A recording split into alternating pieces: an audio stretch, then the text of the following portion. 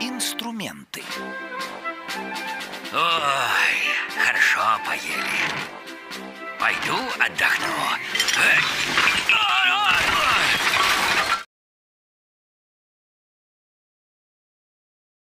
Друзья, с прискорбием сообщаю, что шеф умер.